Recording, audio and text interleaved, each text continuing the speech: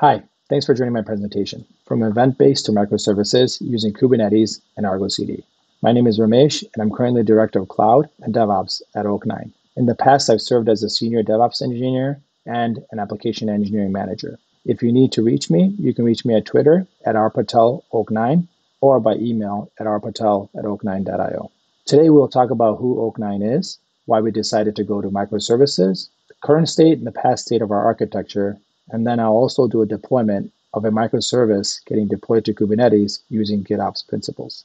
Oak9 is a SaaS-based product which facilitates cloud security from when you start writing code all the way to production.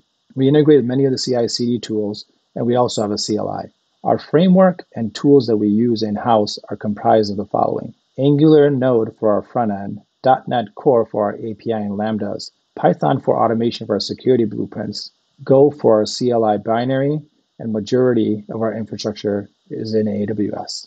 Why did we decide to go to microservices? The first main reason was our build time was getting to be way too high. This causes a slower velocity of deployments and a slow go to market in terms of product development features. Our API was also becoming a large monolith. It was hard to onboard new devs when you have a huge code base. That also leads to longer .NET build times and testing. We needed a loosely coupled architecture and we also needed teams to run independently. Here's the past state of our architecture. It's a typical event-driven architecture in AWS. What we wanted to do was this monolith AWS Fargate cluster that we had running, we wanted to replace that with Kubernetes and use Argo CD to deploy microservices. So this is the current state of our architecture. Here we have replaced Fargate with the EKS cluster, and then we use Argo CD and the tooling around Argo CD is customized for the overlays and Gauntlet for the variable injections.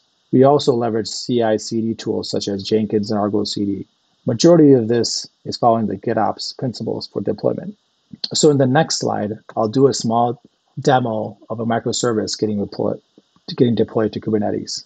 So as you can see here, I have a simple Nginx server which is rendering hello world. And what I'll do here is I'll change this index.html file to basically say hello world Conf42 and then that will in turn kick off a Jenkins pipeline which will send a new image tag to Argo CD.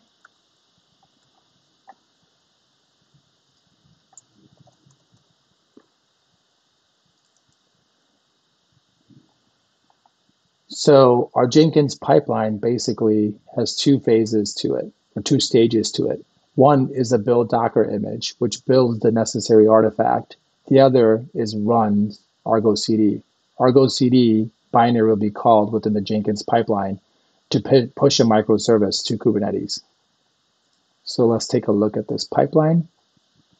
As you can see in Argo, here's a project that Jenkins will push to in a matter of a few seconds, we should see the new image getting pushed here and then a sync happening to our Kubernetes cluster.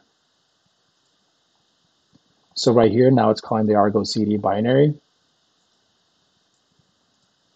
And then you can see the sync happening automatically in Kubernetes. So within a matter of 30 seconds, we were able to tag an image, build an image, and push an image, to Kubernetes, and now this should say hello world Conf42.